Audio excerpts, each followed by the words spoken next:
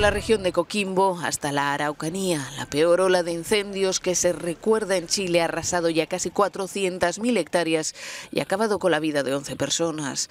El desastre no tiene precedentes, como ha recordado la presidenta Michelle Bachelet. Al menos 110 incendios siguen activos. El calor intenso de este verano en el país austral está alimentando las llamas. Nada por el momento ha conseguido detener el avance del fuego.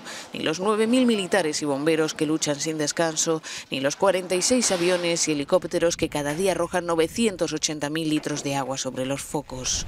Han llegado refuerzos desde muchos países y se espera como agua de mayo que entre en escena un superavión cisterna enviado por Rusia. Se sospecha que muchos de los incendios han sido provocados. Hay más de 30 detenidos.